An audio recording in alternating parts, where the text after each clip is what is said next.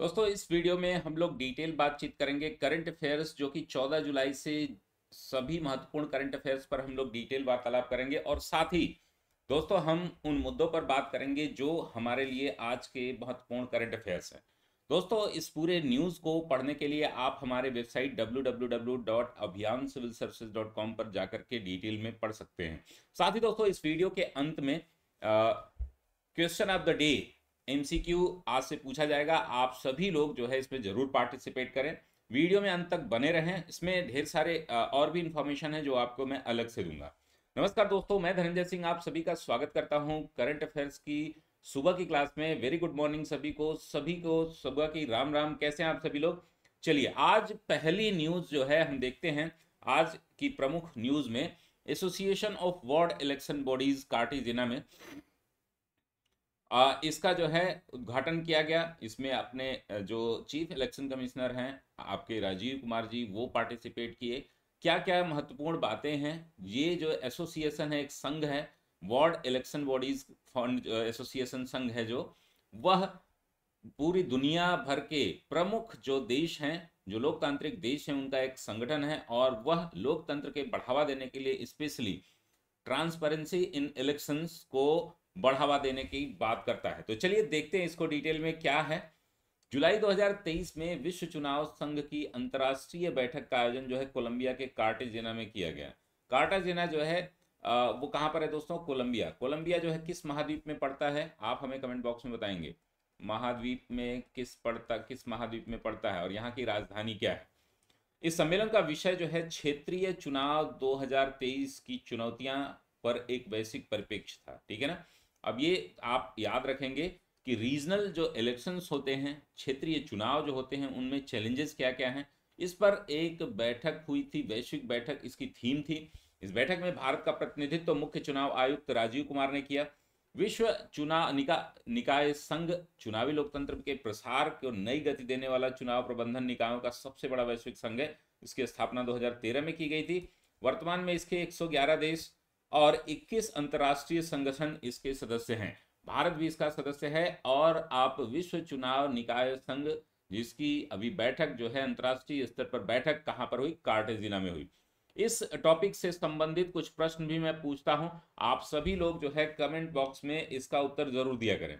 चलिए, दूसरा महत्वपूर्ण हमारा आज का न्यूज़ है, जिसमें international temple convention, expo Varanasi Varanasi में अंतरराष्ट्रीय मंदिर जो है कन्वेंशन और एक्सपो आयोजित किया जा रहा है दोस्तों। इसमें जो है, जो बड़ी समस्या है, इस समय भारत में वो क्राउड मैनेजमेंट क्राउड मैनेजमेंट क्या होता है दोस्तों? भीड़ प्रबंधन, उसको लेकर के सॉलिड वेस्ट मैनेजमेंट जो होता है तीर्थ स्थलों पर जो बहुत सारी गंदगियाँ फैल रही हैं, उनको लेकर के आरएसएस चीफ मोहन भागवत इसके हेड इसको उद्घाटन करेंगे।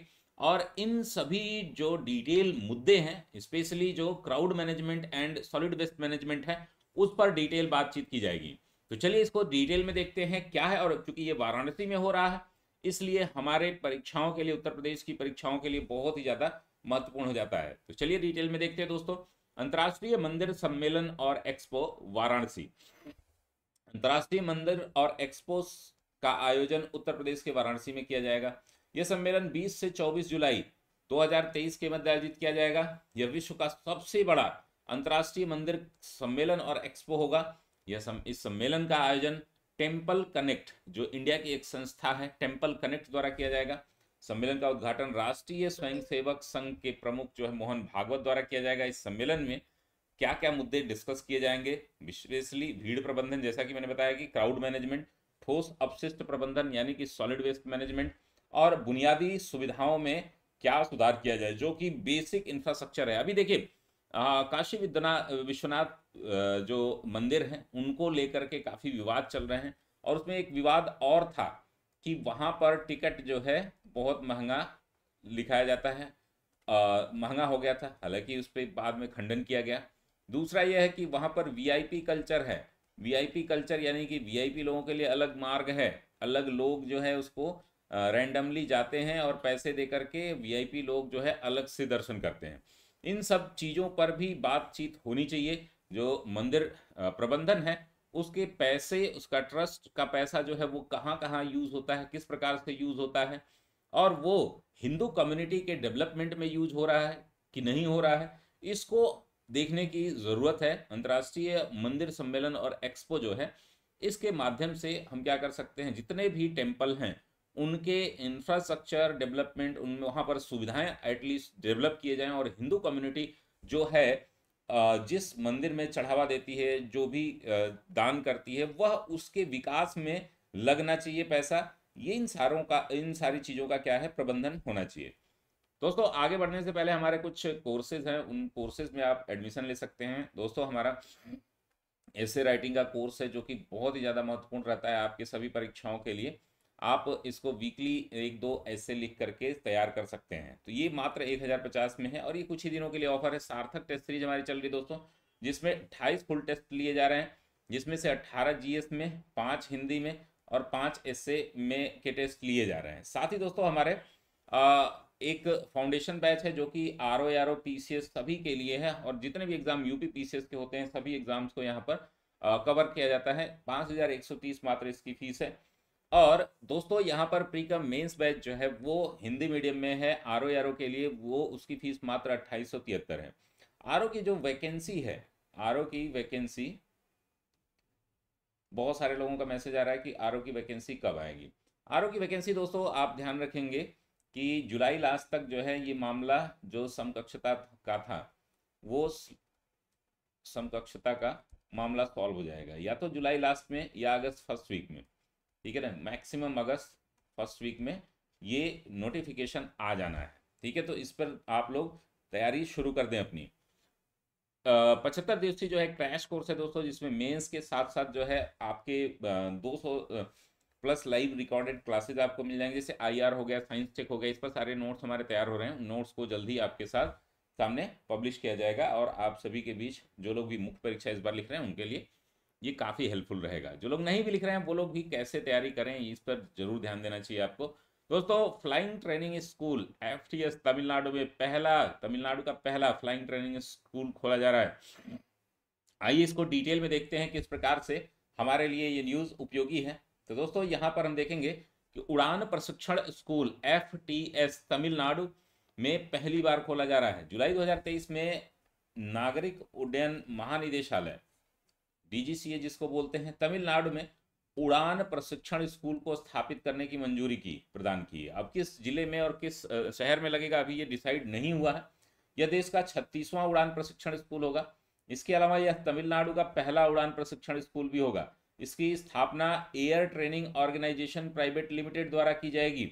यह प्रशिक्षण स्कूल में व्यापक सैद्धांतिक कक्षाएँ, यानी कि प्रिंसिपल, जो है, फंडामेंटल जो इसकी जो प्रिंसिपल फंडामेंटल प्रिंसिपल्स की जो क्लासेज होती हैं, वो उड़ान सिमुलेटर सत्र, यानी कि उड़ाने को लेकर के जो प्रयोग हैं, वो भी किए जाएँगे।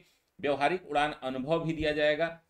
जो छात्रों को एक अच्छी शिक्षा प्रदान करने जो उन्हें गतिशील विमानन उद्योग के लिए तैयार करेगी। तो आपको पता ही है कि एविएशन इंडस्ट्री जो है, वो काफ़ी फ्रूटफुल है भारत में और तेज़ी से डेवलप हो रही है। अब छोटे छोटे देशों से भी उड़ान जो हमारी स्कीम है उड़े देश का आम नागरिक, ये जो है काफ़ी इम्पोर्टेंट हो रही है रीजनल जो कनेक्टिविटी डेवलप करने के लिए और छोटे छोटे शहरों में भी अब वायुयान या जो हेलीपैड सॉरी जो है हवाई पट्टी जो है वो खोली जा रही है। तो इसमें इसमें बहुत ज़्यादा ग्रोथ है।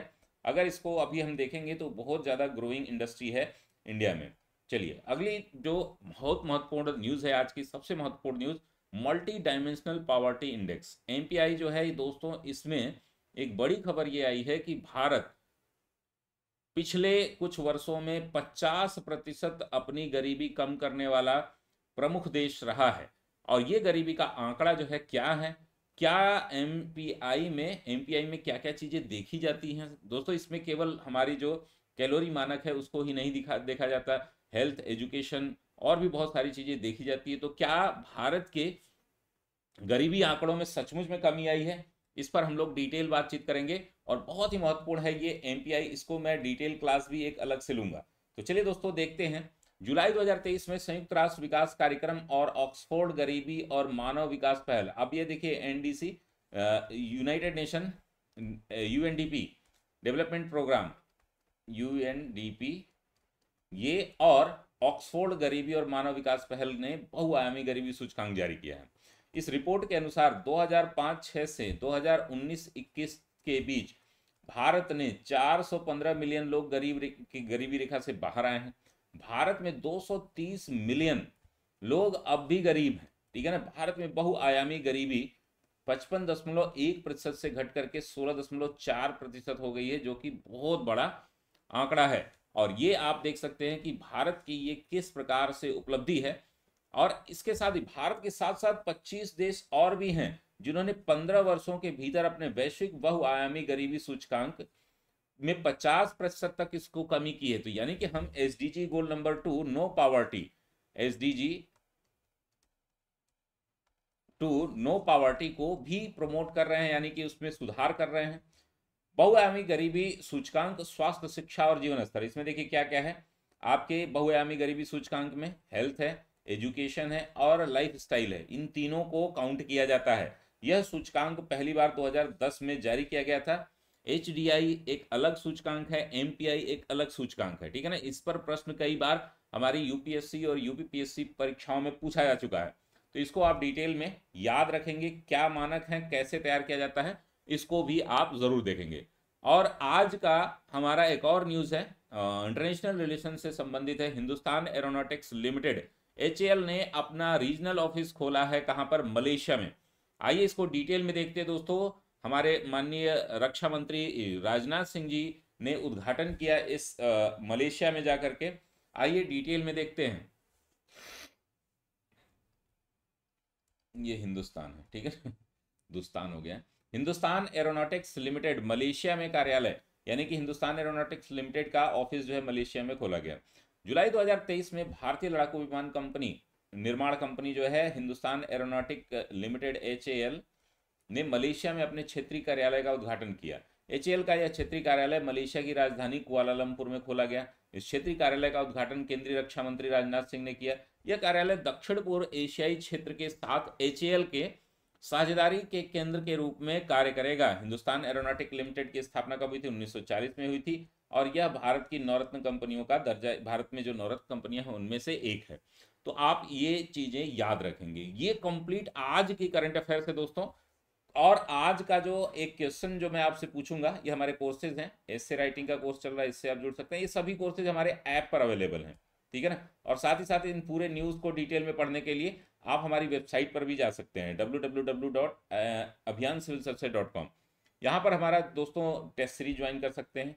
हमारा जो foundation batch foundation batch R O के लिए हमारा पचहत्तर दिवसीय मेंस का क्रैश कोर्स है और हमारे पे करंट अफेयर्स हमारी डेली निःशुल्क रहती है, उसके पीडीएफ के लिए हमारे ऐप डाउनलोड करें।